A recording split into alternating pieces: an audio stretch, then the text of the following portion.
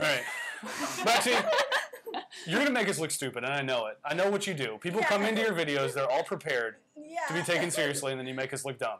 Yeah. And we're not gonna say anything dumb this time. Oh, we'll So- definitely say dumb things. You will not be able to parody us. might, might, might as well just start with our normal introduction. okay. Um, this is our first video filming of our podcast, which is quite amazing because we've been here for doing what, like three years now? We've- We're in the middle of season three, so this is the first video. Um, and if you like it, let us know. I think this is, could be a fun little format. So I think we should say our opening phrase, right? Yeah, we can. Would you like to start? Welcome back to TENN in 20, official podcast of the Battle of Franklin Trust, where we talk about interesting aspects of Tennessee history in roughly 20 minutes. My name's Brad. And my name's Sarah. Today we'll be talking about. No! Wait! We're going to be discussing and partaking in foods that um, are inspired by and derive from recipes that relate to the Carter family and the McGavock family. And we'll have a little bit of explanation along the way. And I think what we're going to do is we're going to go from what should be the tastiest to what we might think of as the least tasty. exactly. But we are the first people trying these, so. So who Who knows? We might, lo- Mhm. and I think there's a mystery dish at the end. So um, we're going to start with the peaches. The peaches, yes. So these are pickled peaches. They have cloves cloves. and cinnamon. You can definitely smell the cinnamon and the cloves. Do you want one peach or two Well, peaches? let's just each do one at first. Okay. That sounds like a good plan. Oh, thank you. Um, and the the recipe for this comes from the Carter Family Cookbook, and it was put in the cookbook by who? Mhm. Well, Emma Carter Bennett is whose recipe it was. Okay, And Emma- it was by her granddaughter Betsy who put it in. okay. Emma Carter Bennett. Um, and these should be sweet. Yes. Okay. Mm-hmm. Okay. I, I'm just gonna go whole peach. Okay, we're gonna go whole Yeah. peach it? Okay. Go big or go home. Ready? okay, yeah. Three, two, one.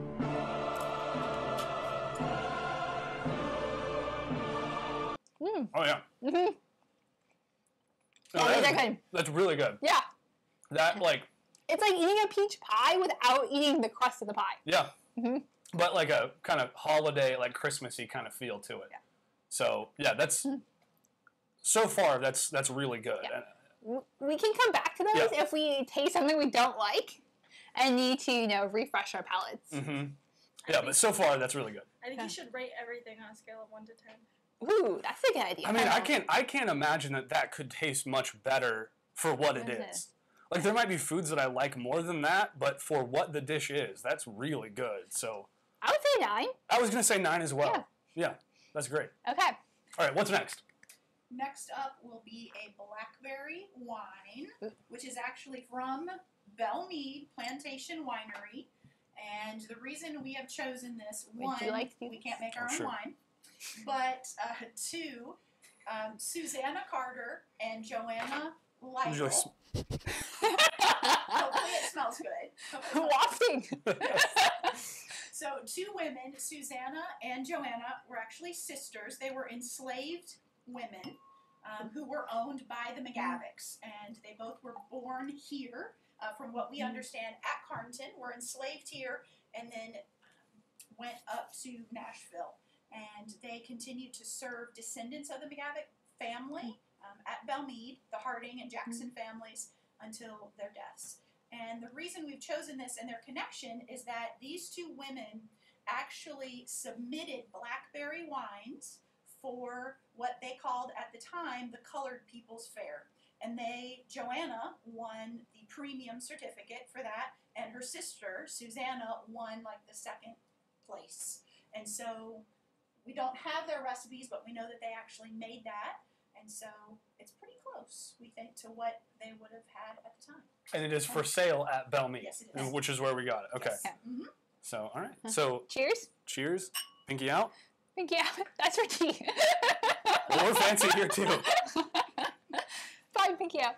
If you want to be fancy, hold your pinky up like this. Very delicious. Yeah.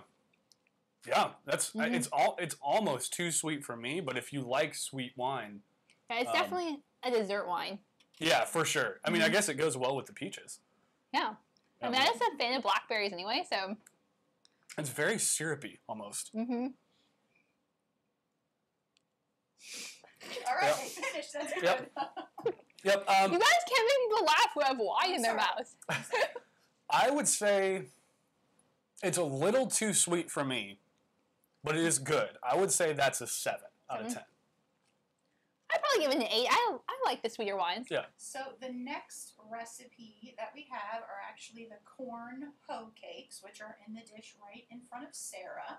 And so they're kind of like a Johnny cake. Some people refer to them as that. So, or it's like a cornmeal pancake kind of thing. Okay. That's fried. Kind of like a fluffy Frito. Exactly. Interesting. So Hoe cake and fluffy fried- Frito were both nicknames of mine in high school. Funnily enough. So the recipe for the hoe cakes also comes from the Carter cookbook. So it's just one that they said was just passed down through the family. So this is something they definitely would have had, something very similar at the time of of the Civil War, really early to mid 19th century, and really kind of a staple all the way through. So, Okay. there you And- Again, I don't see how this could be bad, right? Yeah. Well, they're supposed to be hot, so Oh. Mhm. Room- Well, room temperature hoe cakes. some pretend it's limitations. hot. Oh, those are a little bit more We- uh, fun we than I was anticipating. We'd have to give a shout out to our coworkers who made all the food. That I'm just gonna use my hands. Okay. I was expecting very malleable as I put the fork into it, and they're No, they're not. They're fried. So these were made by Braxy, Yeah. right? yeah. Shout out to. Whereas the peaches were made by Joanna. Joanna. Mm, You said mm, really fast. I like them. Yeah, I guess, I guess I have Mm-hmm. to judge it not on its like current temperature. Fresh out of the oven, though, I could see. Mm-hmm. Fresh out of the shortening. Oh, it was fried in grease. Okay. They said in lieu of shortening, you can use bacon drippings. Did you use bacon drippings? I did not. Mm. I used a lot of Crisco. You know, it's um popcorn mm-hmm. I kind of flavor. I taste taste like popcorn. Mm-hmm. You can. It's made out of Salty corn corn. meal. Yeah, corn, Mm-hmm. butter. No butter. No butter. Okay. It's corn, flour, and salt. Yeah, this is Mhm. like this is like if you took if you went to the movie theater a week ago and you got popcorn then And then you put it in a blender, and you put it in a blender and just like mashed it all together mm-hmm. and then you fry it. and then you fry it. That's what it tastes like. No, but like the butter, it does taste like movie theater popcorn. Yep. With that butteriness. Mhm. Mm-hmm. Not bad. Hot would definitely be better, But but I like the flavor. Mhm. it's much easier than eating, you know, popcorn. You can get your hands messy. True. And you could it's more smu- smuggleable. Mm-hmm. You could get that into the theater easily, We more easily.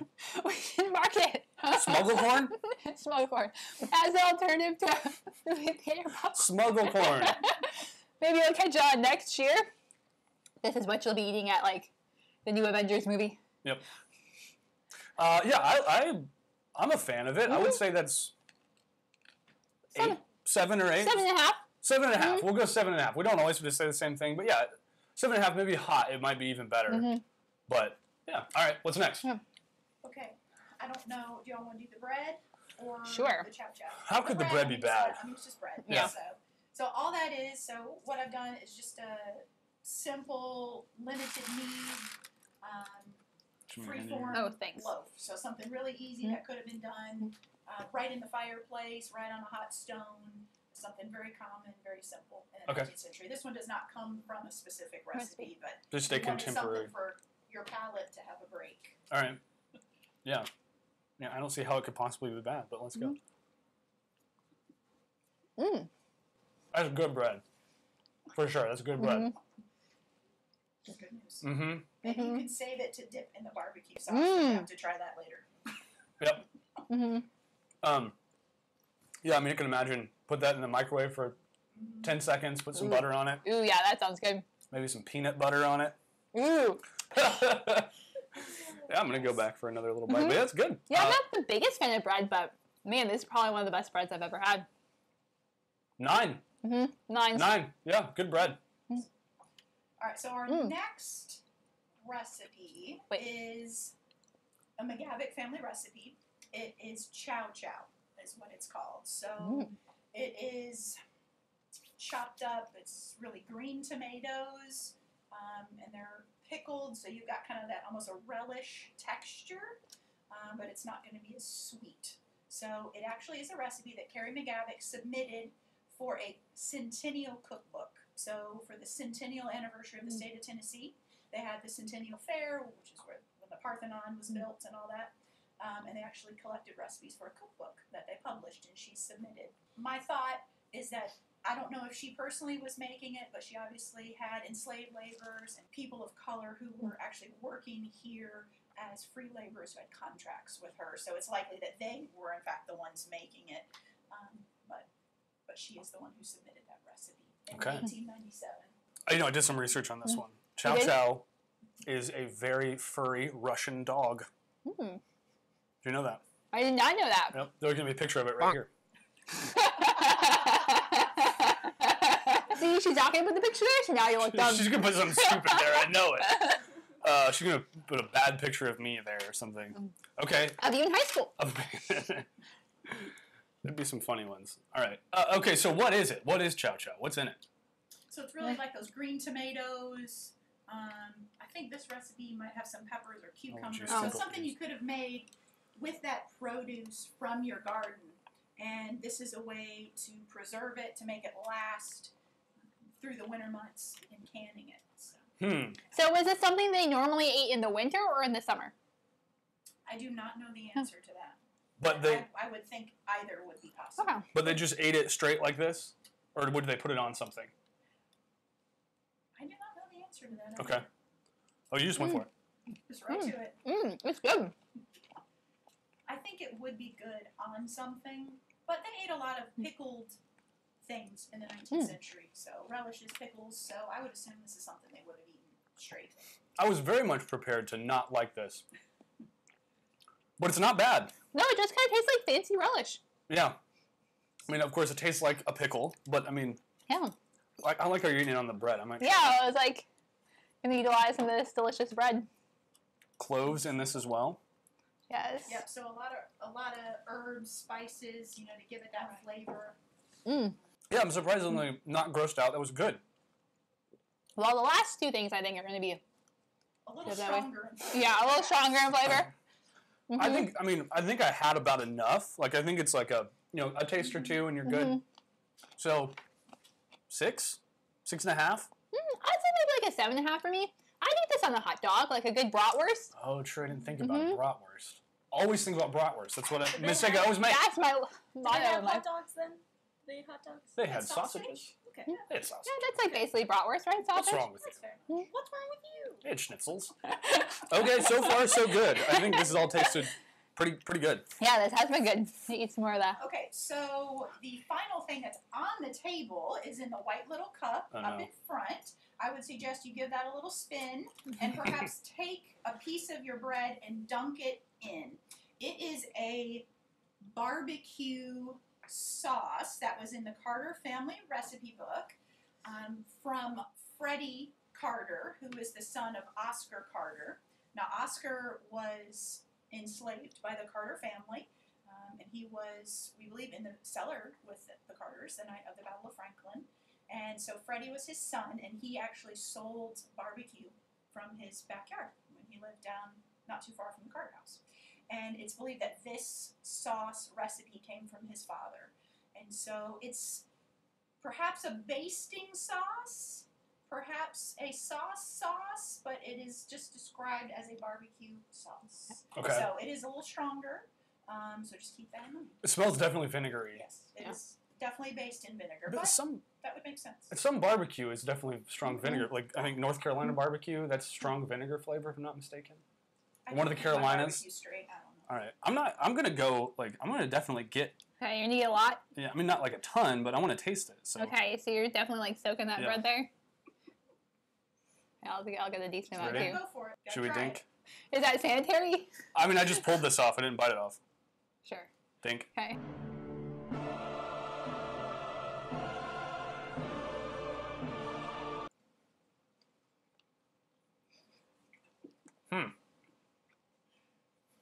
All right.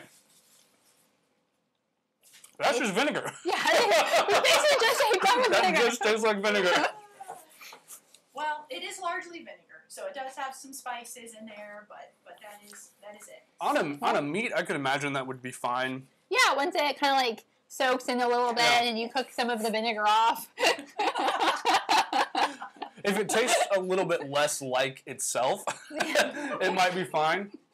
Um, I can imagine on a pork product that would be good though. Yeah, I give it like a five because we're not probably using it like tasting in its entirety what Yeah. it's supposed to be for. This for. isn't the proper context for this, Yeah. but yeah, Here, should I try it with the hoe Oh, cake yeah, to see if that's a a really good different flavor? you know, always good you like you like tried that so like quickly. Hmm? You guys said you agreed to try it again so quickly. actually that's pretty good. Mm, it's That combination? Sweetness of the Mhm. corn, Mhm. bring out a Mhm. little bit. We'll have to try that. Uh, If you eat um, vinegar on your French fries, which I do, that's not bad. Mm-hmm. All right, so the final mystery recipe I have over here, and we will bring that out. Um, we'll let the You probably know what this is, who isn't it Speak to that recipe. James doesn't want to. James has been on the podcast Uh, before. yeah, multiple times. Yeah. So, So what we have here is tomato aspic. Which is just a name you call something if you think it's going to be delicious. Mmm, aspic. So I, it's got, it's really, it's like tomato jello. Yep. no, Really. And so, so we do have some of that special, special. you're really selling it there. One thing I do know is that Jello-like things or gelatin-like things used to be way more popular than they are Mhm. now, Absolutely. and combinations of like savory and like gelatin things were way more You want to common. put a little piece of bread to mellow out the taste? No, I, I think we just got to go for it, right? Okay. Um, for all you viewers, listeners out there, the reason why we picked this is because we already know Brad absolutely hates I, it. James made it once before, and I was not a fan at all. So but we agreed to take a big bite. yeah, we did. It's from the Carnton Cook. It's straight from the Carnton cookbook. Okay, and better get I am mic. not excited, but I think Braxy almost threw up just looking at it. Can Okay. you get a, Can you really zoom in on that jiggle? Is it celery as well, or just olives? All right. Gotta try Alright. it.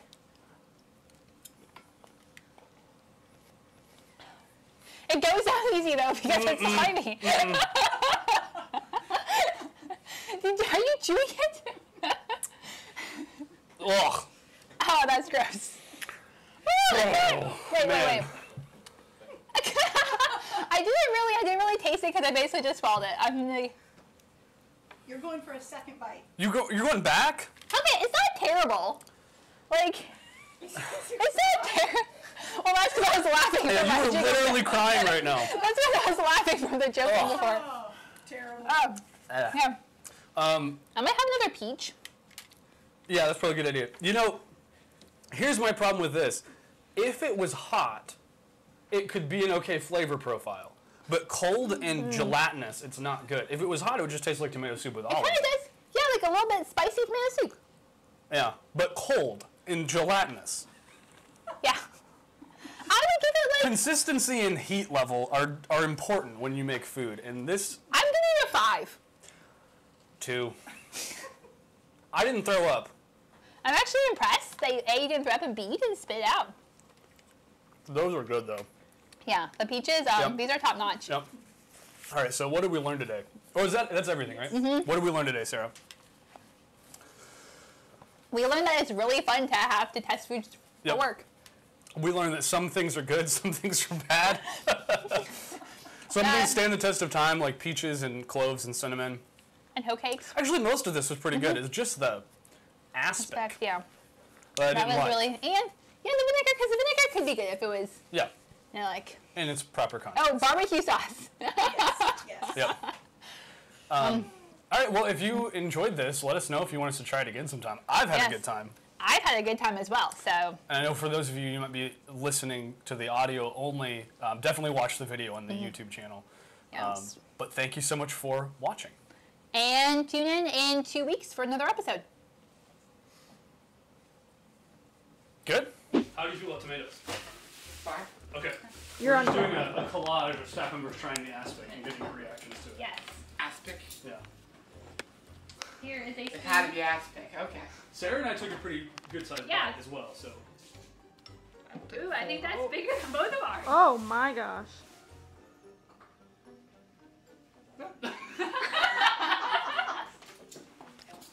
See, it comes out. Francis, If you're up for it, do you want to try aspic? For the video? Chow chow? You don't have to. Not really. Okay, if you don't want to, you don't have to. Sounds good. Mike, we need your help. James made this dish. It's called tomato aspic. Will you try it for the video? I hate that stuff. What you got through it? I survived. I hate that stuff. you sure this isn't poison? I, Sarah and I both tried it. So did Is David. sugar in it? It's gonna kill my blood sugar. No, that's well, just tomatoes.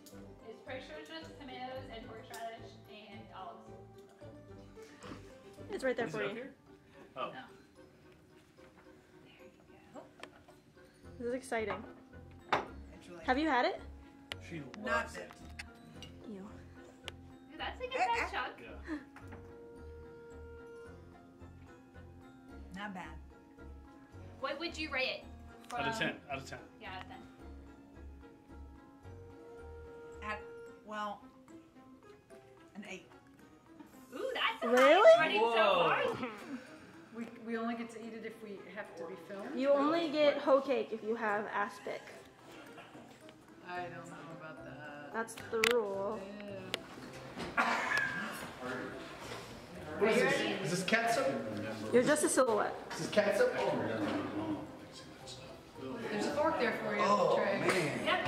It's just, yeah. It's a culinary thing. That's right. Trey will be, now Trey will be green after he tries it. You want to try a hoe cake? No. Come on. No. Okay, who wants to try it? Go on. Those don't Jill? look We drove all the way over here. It's really not that bad. I'm not trying the red stuff. That looks like SpaghettiOs that got left for way too long in the can or something. Oh, that's one little bite. Something Are missing those there. olives in there? Yeah. Gosh, It's just like, oh, that's not bad. See? It does taste like cocktail sauce. Does it have horseradish? It does have horseradish. What, from 1 to 10, what's your rating? Hmm. In general, I'm a general tomato fan. Six? 6, okay. One of the higher ones. Lori said eight. Yeah, Lori said Trey. But she said she didn't have it like.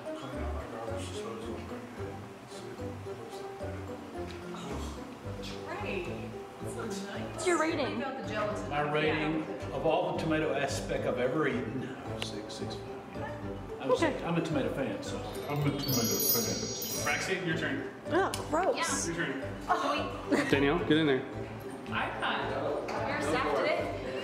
I'm a volunteer. Well, are you gonna sue us? no. Okay, then you're good enough. Could be a wedding thing.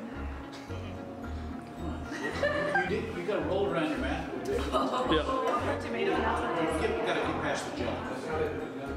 It tastes like cocktail sauce, but I don't like it. Um, out of 10, out of 10. Yes. Let me tell you how my mother served. She served it with a dollop of mayonnaise on it. Oh, oh! no. I think if it wasn't on the definite no.